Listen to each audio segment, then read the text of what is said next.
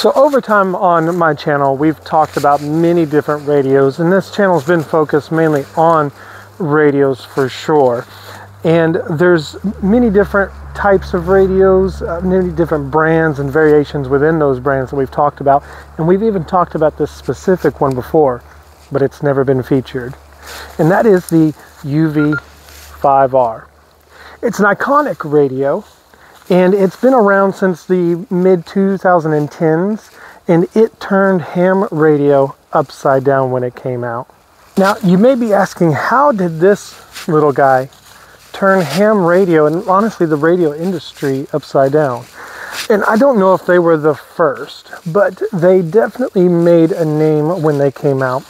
When these came out in the mid 2010s, I don't remember the exact year they did, the UV5R by Baofeng, it, uh, it came out as like a $30 radio, whereas other radios, just to get introduced into ham radio, was t- 10 times that price.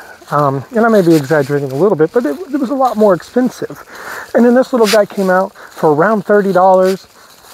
And, you know, a lot of the ham radio guys, they they were furious for, for many good reasons. When it first came out, it was in okay, or it was honestly maybe even a subpar radio. And the spurious emissions on it, the um, they would make claims on the wattage, they would do things, and it just wasn't a great radio, but it was inexpensive and it got a lot of new people into radios. Over the years, uh, they've cleaned up their spurious emissions, if um, that means anything to you, uh, and it uh, and it just they just kept re um, refining the aspects of it while kind of keeping the same um, w- what it was, right? And even now, you can get these radios for you know around 15 bucks uh, with a lot of coupons and discounts that are running around right now. And if you get it for even around 20ish, uh, it's still a great deal because while it doesn't have the fancy LCD screens, it doesn't have uh, some of the Bluetooth functionality and stuff, it still works and it's very functional in the way it works. And now, who would want to buy this radio in 2025? Well, let me tell you. So, a couple of things with the, I don't know what it's called, but the monochrome type screen on there, it doesn't matter how much sun shines on that, you can still read the display. Whereas a lot of the more modern uh, LCD displays that's come out, even by the same company and others that I've featured on here, uh, it's really, really difficult to read those displays in the sunlight. And these are still coming out for super inexpensive.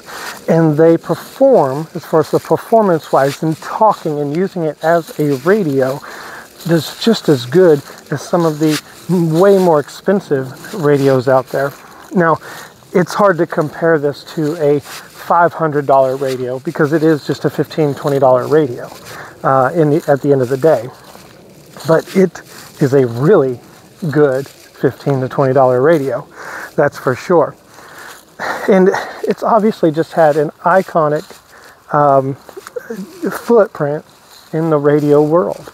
And that's why I still recommend it as one of the first radios you want to buy today because it's simple it's not difficult to program. However, I do recommend getting the TID Radio Bluetooth programmer. I've made a few videos on it below going into detail on how to use that Bluetooth programmer.